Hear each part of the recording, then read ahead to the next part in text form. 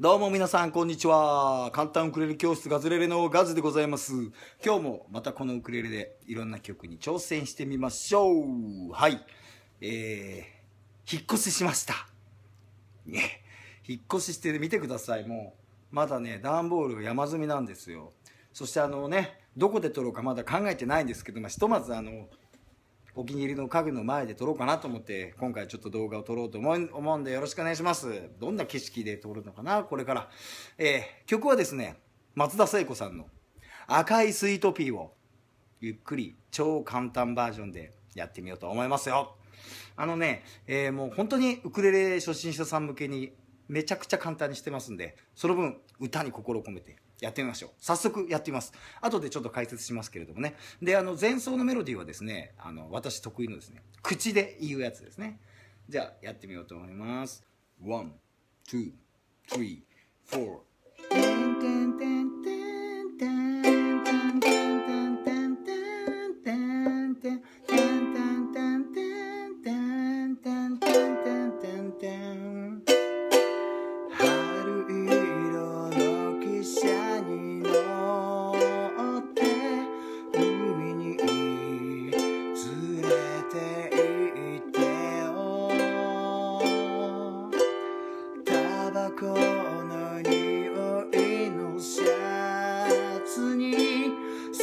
ことを寄り添うからなぜ知り合った日から半年過ぎてもあなたってでも握らない I will follow you あなたについてゆく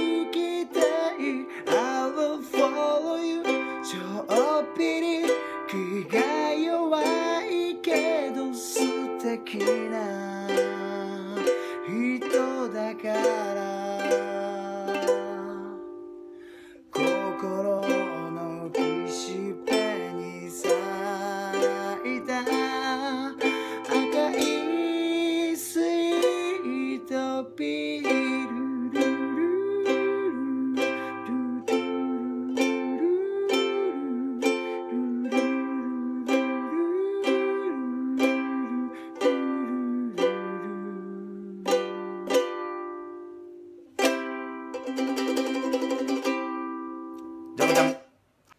はい、そういうわけで、松田聖子さんの赤いスイートピー、やってみました。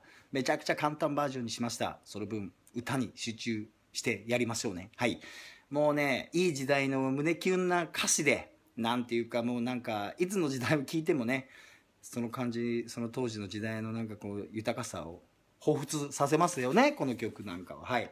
では、コードの解説やってみようと思います。じゃんじゃんじゃんじゃん。はい。まずですね、見てもらいたいのは上の段。C、F、a マイナー、d マイナーですね。はい。これはもう簡単ですけれども、あ、いつものようにこれわかんない方、こちら見てください。ピンクから辿って、ここに辿り着いてくださいね。はい、じゃあ C はいいですね。F。F と a マイナーと、ね、d マイナーって実は共通点あるんですよ。何が共通点かって言ったらこれ見てください。ここを押さえ、隠しちゃったら全部4弦の2フレット一緒でしょ？コードはね、全部親戚関係で覚えるのがポイントですからね。そうして考えるとね、まあまあ、まあみんな一緒みたいなもんですよ。まず F はこう斜めで、a マイナーはここを外したやつが a マイナーですね。F と a マイナー。次 d マイナーはどうやって考えるかっていうと、まあよく私言ってるんですけど、F に1個足したと思ってください。これを隠すと、ほら、F と一緒でしょ？はい。こういうふうに覚えていくとスムースに覚えられると思います。d マイナーちょっとしか出てこない、来ないアレンジにしてますんで、まあ、ね。で、下の段にご注目です。私最近よく動画で言ってるですね、コードの3兄弟です。はい。G7、見てください。E7、はい、ここ。Em7、ここですね。この青い点、みんな同じなんですよ。だから3兄弟というふうにしてますが、G7 は2弦の1フレット、E7 は4弦の1フレット、Em7 は押さえない。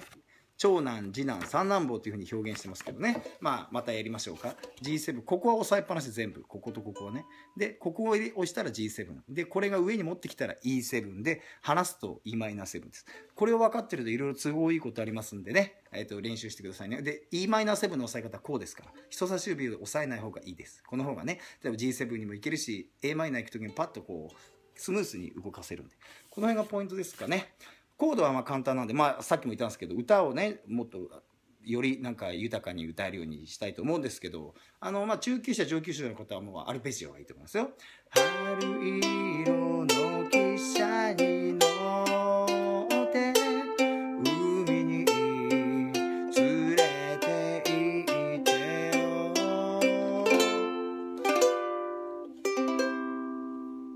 とろろーんと混ぜたりアルペジオやったり、まあ、アルペジオも先ほどのリンクのところにもし練習したい方でやってますんであのやってください、えーまあ、バラードですけど、まあ、元気になるようななんかねルンルン気分でやるのがいいと思いますやっぱり。はい。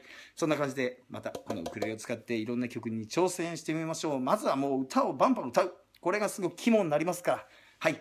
じゃあまた。YouTube でお会いしましょう。さようなら。あ、そういえばですね、今全国で勝手にガズレレ練習会っていうのを Facebook なんかでやってください。私がいなくても YouTube でみんな集まってワイワイやりながら、あのー、やってくださいっていうふうに盛り上げてるとですね、もう北海道から沖縄、九州、新潟、名古屋、大阪、あそこ、そこら辺でちょっとあの自然発生的に盛り上がりつつありますので Facebook などでも検索してどんどんそこの現地のガズレレ勝手に練習会に参加して見るのはいかがでしょうか？そして盛り上がってきたらですね、私を呼んでくださいね。僕も混ざり混ざってワイワイやりたいです。そんな感じで、全国的にこそこそと勝手に練習会やりましょうさようならカズレールでした。バイバイ。